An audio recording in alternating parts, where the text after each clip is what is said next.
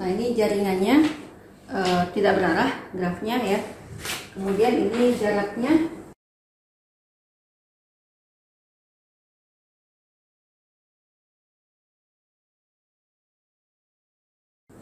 Nah, kita disuruh menentukan rute terpendek dari A ke G.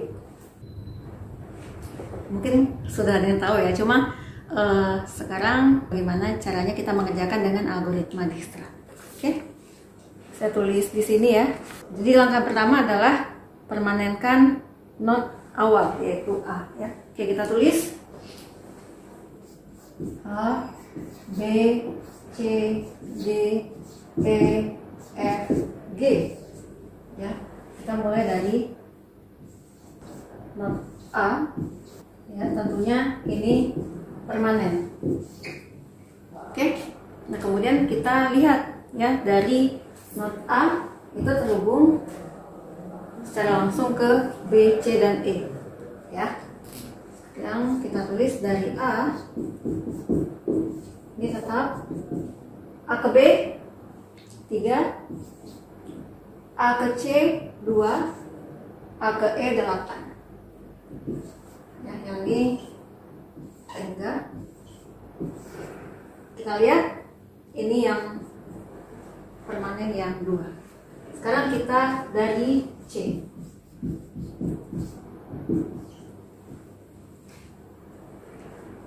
C ya terhubung ke sini ke sini. Ke sini juga sebenarnya. Ke sini juga cuma A sudah permanen ya nggak bisa diganggu gugat. Ini juga tidak bisa diganggu gugat ya jadi dari C ke B. Nah pada saat kita sudah berada di C kalau kita mau ke B ya maka kita adu. Minimum 3 dengan 2 plus dari C ke B. 5 ya. Minimum dari 3 dan 7 yaitu 3 gitu ya. Nah kemudian e, dari C ke D ya. Itu tak hingga versus nah, saat ini kita sudah berada di C itu berarti kita dari A itu kita sudah menempuh jarak 2 ya. Berarti kita adu ya minimum. Mula-mula ini sehingga dengan 2 plus dari C ke D. 3 ya berarti minimum dari tahingga dan 5 yaitu 5 ya. Kemudian eh, C ke E. C ke E ya. Ini sudah ada 8 jadi kita adu minimum 8 dan pada saat kita di C itu kita sudah menempuh jarak 2 plus dari C ke E itu 7 nah, kita adu 8 atau 9 yang paling kecil tentunya 8 dan yang lainnya ini tak hingga karena tidak terhubung C langsung ke F dan G. Oke nah sekarang kita lihat mana yang paling kecil. Itu adalah 3 ya berarti kita sekarang dari B. Ya, nah ini yang bintang-bintang ini sudah beres. Tidak usah diganggu gugat lagi. Nah sekarang kita berada di B. Ya, terhubung secara langsung ke D. Ya. Sekarang D itu ya perman uh, D itu temporary labelnya adalah 5 ya. Berarti kita adu sekarang minimum dari 5 dan pada saat kita di B itu kita menempuh jarak 3 ya dari A. Ya, berarti 3 plus jarak antara B ke D itu adalah 4. Nah, berarti minimum dari 5 dan uh, 7 yaitu 5. Gitu ya. Kemudian ini tetap 8 karena tidak ada art yang menghubungkan B ke E secara langsung ini juga tanda. Berarti yang kita permanenkan adalah yang paling kecil 5 ya. Berarti kita sekarang berada di D. Ya. Ini sudah. Nah pada saat kita di D ya kita bisa ke E bisa ke F bisa ke G.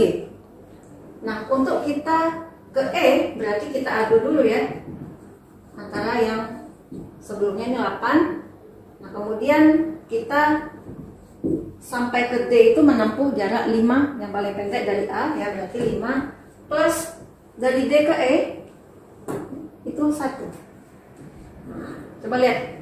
Di sini 8 atau 6 yang paling kecil jawabannya adalah 6 demikian halnya juga ya dari D ke F ya itu berarti minimum sehingga dan ya 5 plus DL 1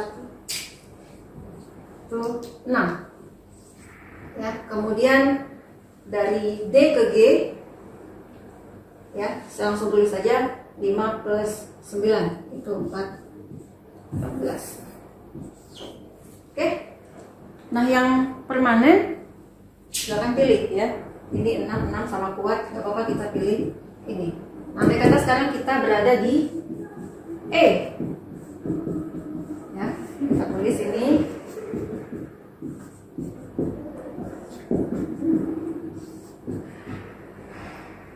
Nah, dari E ke F tidak ada langsung ya berarti ini kita tulis langsung 6 kemudian dari E ke G ya itu kita adu mula-mula 14 ya. Kemudian 6 plus dari E ke G 4 10 ya. Yang paling kecil antara 14 dan 10 adalah 10 oke? Nah tentunya ini yang kita permanenkan adalah yang nah, sekarang kita berada di F. Nah ini yang terakhir. Mudah saja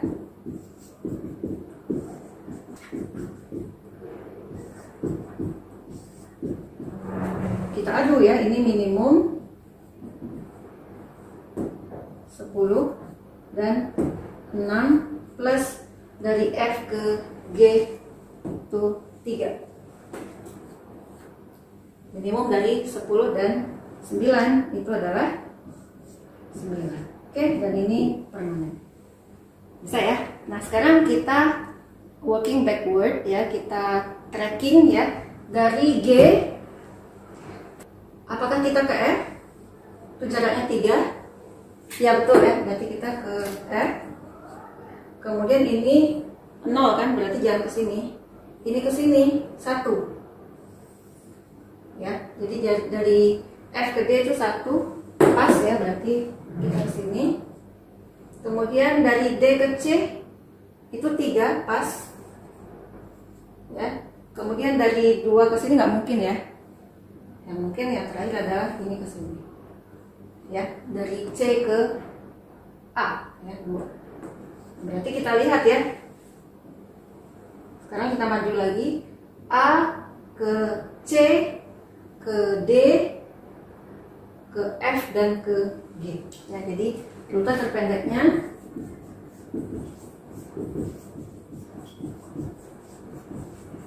yaitu A C D F G ya jadi A C D F G ya dengan panjang lintasan ya 9 oke